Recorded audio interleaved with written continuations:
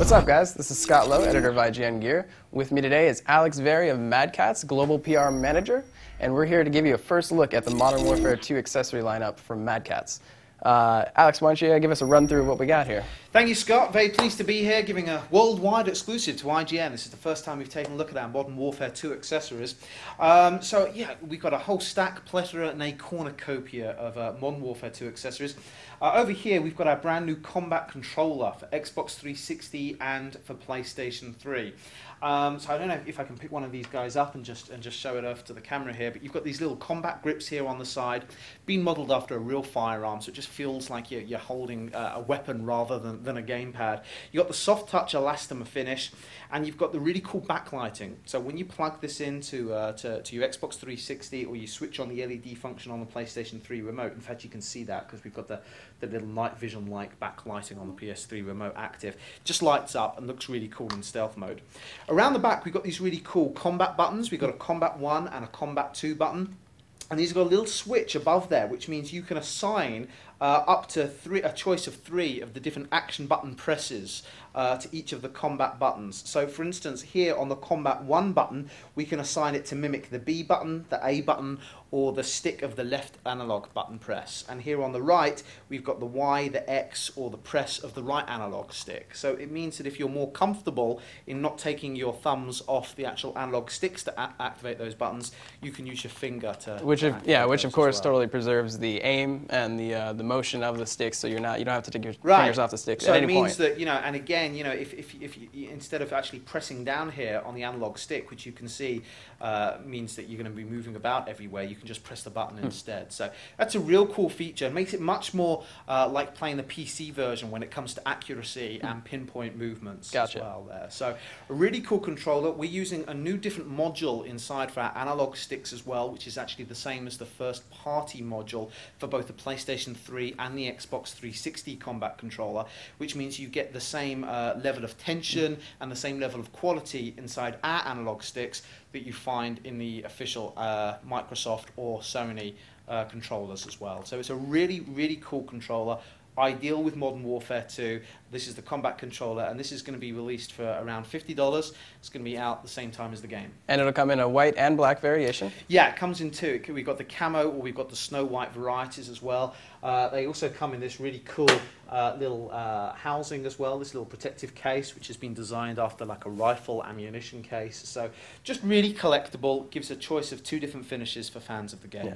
And then if you see inside the case, we have the PlayStation 3 controller, which is very slightly from the, uh, obviously, the Xbox 360 controller in that it's wireless. It has a built-in Yeah. battery, correct?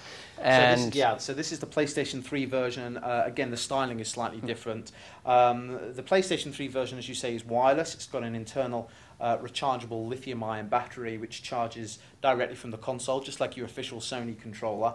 Uh, whereas the Xbox 3, uh, 360 version has Rumble and the PlayStation 3 version doesn't. So there's a couple of differences depending on which format you own. Uh, but again, on PlayStation 3, you've once again got the combat buttons there, just like on the Xbox Gotcha. 360 version. Yeah. And then uh, on the controller front, you also have a PC variation, which is over here on the right or your left end. This is a, uh, you know, obviously for the more PC users, it's uh, it's not exactly the same in that it doesn't have the combat mapping on the bottom, but it does have, you know, the full controller, you know, functionality as well as the custom yeah, black it's, finish. It's, it's yeah. got the custom elastomer finish here Yeah. as well. Uh, a key difference, this is the, uh, the PC Combat Gamepad. Yeah. And this also ships with uh, specialized software called uh, the SST software, which allows you to, uh, to map any of the keyboard presses onto the main action buttons. And it comes with a custom Modern Warfare 2 uh, profile, uh, which means that you plug it in, you load up your profile, and it's automatically set to work ideally with your PC version of Modern Warfare 2. So it's a really cool controller for the Gotcha. PC.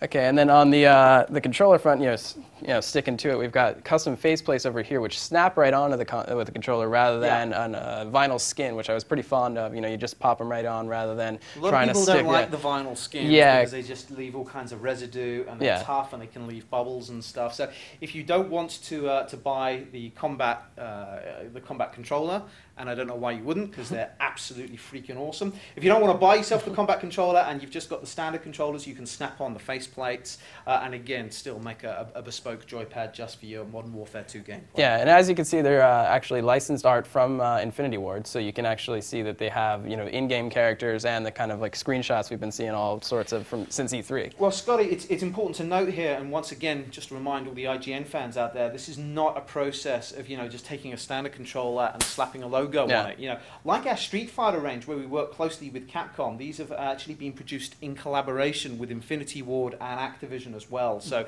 you know they've personally gone through each product. They've worked with us to come up with the best features, the best feel for the analog sticks on the combat controllers, and all of the artwork is supplied by and approved by Infinity Ward. So you know you're getting a really, really great products when you buy any one of uh, the products in the range. And uh, moving along to the uh, still in the console space, we've got the uh, the throat mic here, which is pretty exciting. It's uh, modeled off of uh, after the uh, you know military grade with you know the, the Navy SEALs use around their neck, so you can you so it's it's military inspired, is Yeah. what we say there. So you know the military use a, a sort of throat communication device which actually picks up the vibrations uh, uh, the way you speak. So the, the military guys actually don't have to speak; they can just mouth words. Uh, we haven't gone that sophisticated. Ours works on a standard mic, but the design styling is styled after a military grade communicator Yep. device. So um, so this plugs straight into your Xbox 360 console. Fits around your neck. You've got a flexible band on there as well, so it'll adjust to pretty much any size neck or any shape neck there, and uh, and it's going to work perfectly with your with your combat controller. Yep, and it plugs you know directly into the base of the either the combat controller or the first party you know solution. So you've got that there running for it on And the it also has nothing sticking out in front of your mouth, so snacking is allowed. Yeah, Something you can- very important when I play Modern Warfare 2.